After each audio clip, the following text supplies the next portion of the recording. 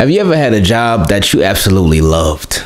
You've been there for a while. You love the bosses. You love your managers. You love the owners. It has great benefits, great pay. You love your coworkers. You just love the environment. You love everything about this job, even career. And you don't want to go anywhere. But then, as time passes along, your attendance starts slipping a little bit. And your attendance has always been a little bit shaky, even from when you first got on the job but they still rock with you because they saw your potential and they saw the skill that you had and they saw that you were a very, very good employee when you were there. But then some more time passed and your attendance was still shaky. So then what they did, they said, hey, your attendance is shaky and it's been shaky.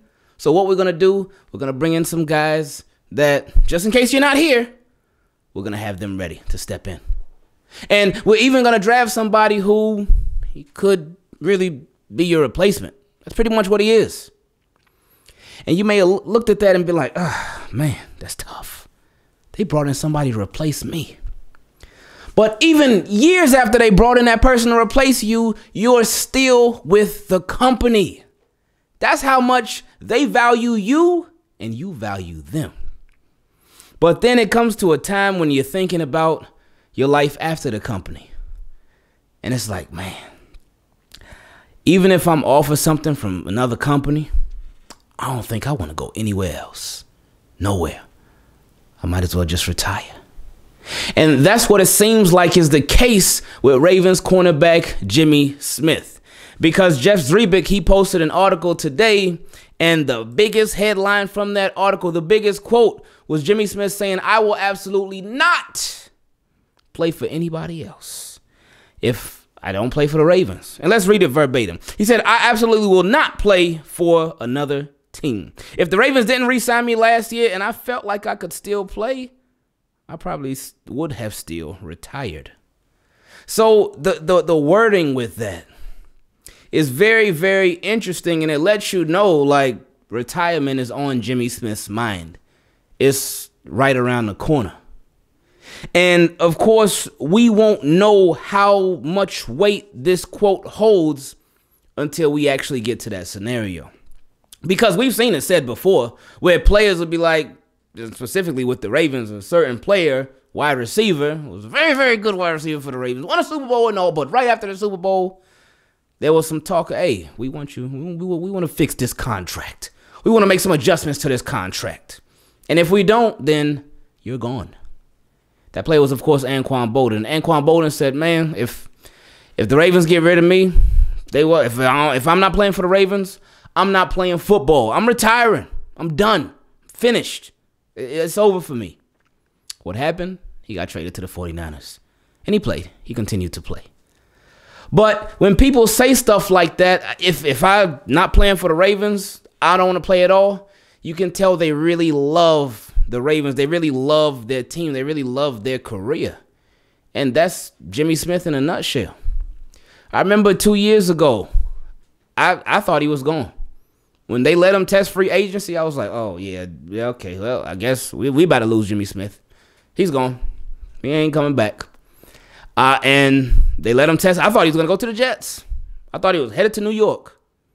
Go be with CJ Mosley, them, Peanut. And, but it didn't end up working out that way. Jimmy Smith tested the waters and he sunk contract wise. And the Ravens said, It's okay, son. Come on home. Come on home. It's okay. And they gave him that that that father's love hug. When a father lets you know, like, okay, you want to test me? Go ahead. Do your thing. But you're gonna learn the hard way. And that's what happened with Jimmy Smith in free agency. He learned the hard way. There was no better environment, there was no better situation for him than returning to the Baltimore Ravens. So he came back. And then even this year, well, before free agency started, they signed him to an extension. They said, Jimmy, hey, we keeping you around again. You're gonna stay here again. We rocking with you again. And I mean, with, with Jimmy Smith, the Ravens are a better team, but Ravens are also prepared for life after Jimmy Smith. And they started doing that because they had to go through things the hard way. Jimmy Smith was their top corner. It, it would never fail that Jimmy Smith, he was the best corner on the team. They Ravens would be moving, shaking, doing their thing in the regular season playoff comes. Jimmy Smith gone. Jimmy Smith goes down. That was it. The entire secondary would collapse. That that was this guy's impact on the team. Entire secondary would collapse. And they'd be like, man, if only. And we were just talking about it uh, in the stream a couple days ago. And sh- again, shout out to Sarah Ellison who came out with the list of, a lot of the Ravens players who are on their last years of their deal. They only have one year left on their contracts, and Jimmy Smith was one of them. And we went through each player and we we wondered, oh, okay, who's gonna stay and who's gonna go? And with Jimmy Smith, I think he's gonna go. I think this is really uh, his last season with the Ravens. And Calais Campbell, he was the only guy uh, where I felt like, okay, the Ravens, I, I don't even think it's going to be a thing where the Ravens bring him back. But at the same time, I don't think it's going to be one of those things where they necessarily let him go. But I think he's going to retire. I think he's going to retire.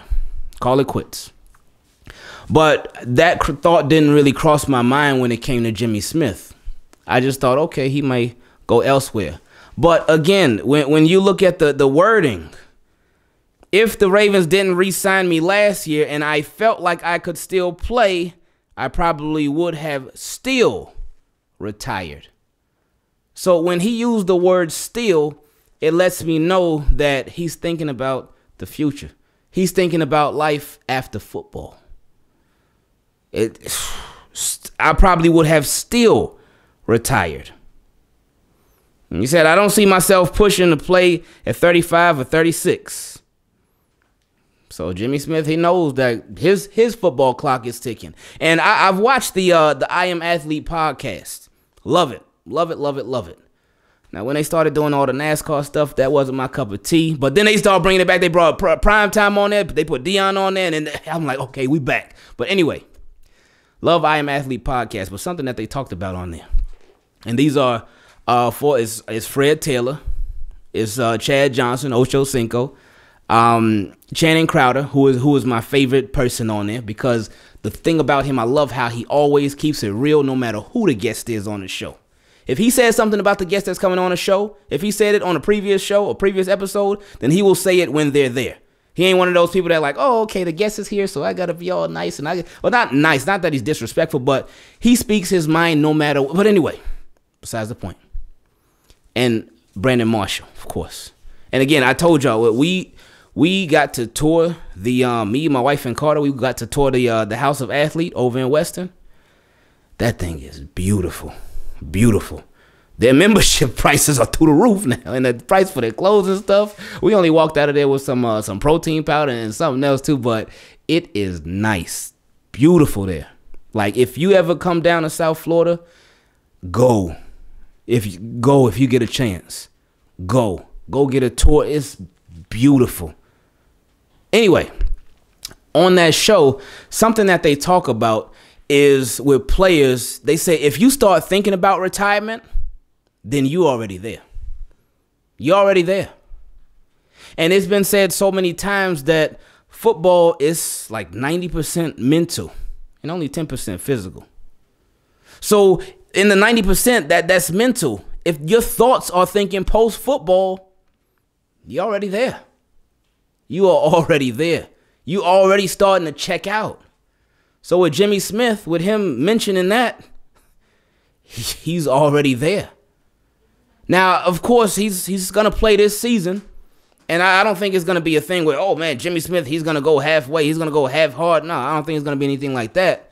But you certainly know his time not only with the Ravens, but possibly even the NFL, could be coming to uh, an end. And if it is, then even whatever happens this season, Jimmy Smith has had a pretty good career. Pretty good career. And I think he really made his mark uh, back in 2013. That was his coming out party. And also uh, 2015 as well. Um, because those were the two seasons where Jimmy Smith played the entire season. Entire season, full 16 games. Ravens didn't make the playoffs either one. But Jimmy Smith stays strong, stays standing. And what's even crazy is that in the season 2015, where literally everybody at every single position got hurt, every starter everywhere got hurt, Jimmy Smith he was the only one standing. So shout out to him. But 2013 for sure was his coming out party. That's where he just really like evolved. It's like, okay, this this guy can play. He can really play. This guy is a lockdown corner. And it, it sucks to know that Jimmy Smith, when healthy, he would have definitely been, no question, top five. Maybe even top three.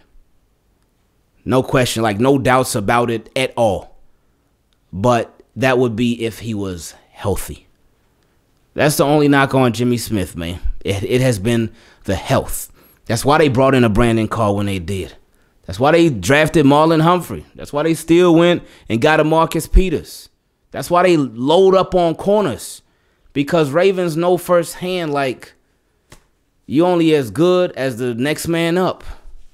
And with Jimmy Smith throughout his career, it's been a lot of next man up after him because he's went down a lot.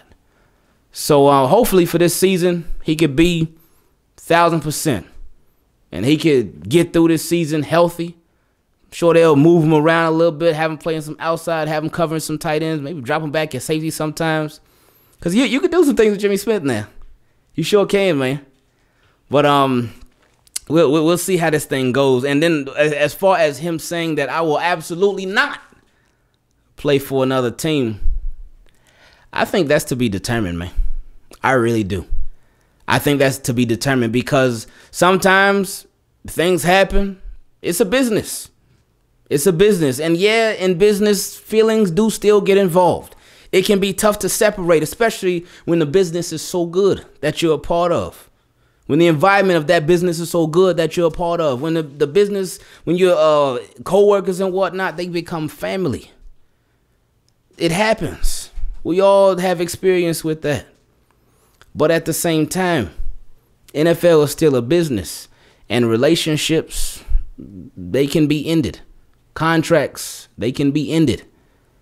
And Jimmy Smith, it could be one of those things where he's he is feeling this way because these are his feelings at the moment. But when that contract ends, he could be like, you know what? I feel good. Like say for instance, he he does play this entire season. And he does a good job because if, he does play this entire season, we know he's gonna do a great job because that's what he does. But if he plays this entire season, he could be like, you know what? I just made it through this whole season. I got another year in me. Let's get it. I'm feeling good. I'm feeling healthy. I'm ready. Let's go. So, but if the Ravens say, "Oh, thanks, Jimmy. We love you, appreciate you," but this relationship is it is what it is. It's over.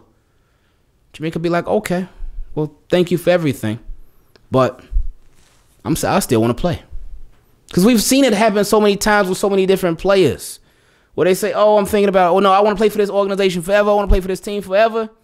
But then the team, they don't feel the same way. And then the player's like, oh, no, I, I still got it. I still got some juice. Let's go. So with Jimmy Smith, we'll see.